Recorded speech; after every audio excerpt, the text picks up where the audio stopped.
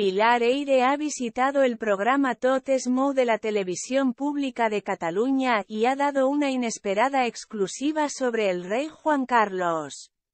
Como ya es sabido por todos, presuntamente, la reina Leticia tuvo un romance con Jaime del Burgo.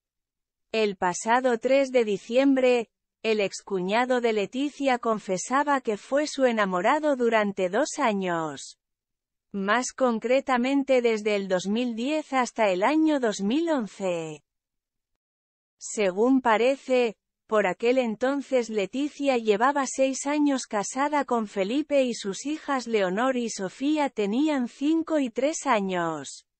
Una trama que dejó a todo el mundo con la boca abierta, ya que de ser cierto, sería uno de los escándalos más sonados de los últimos años.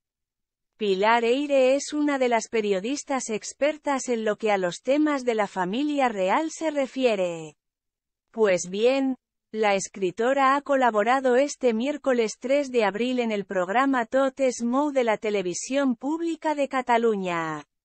De esta forma, ha dado una exclusiva referente a Juan Carlos que afecta directamente cuando estalló la historia de Leticia con Jaime del Burgo, fueron muchos los que acusaron al rey Juan Carlos de filtrar informaciones a la prensa.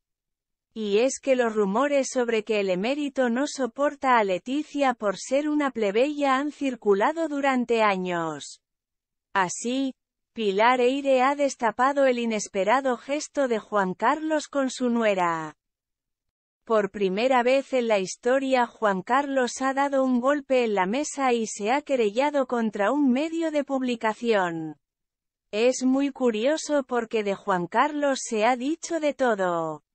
Se le ha llamado corrupto, mujeriego, el hombre de las cinco mil amantes, que ha cobrado comisiones, ha empezado la periodista por lo único que se ha querellado al final y que ha puesto a trabajar a sus abogados es por la acusación de que estaba detrás del complot contra doña Leticia.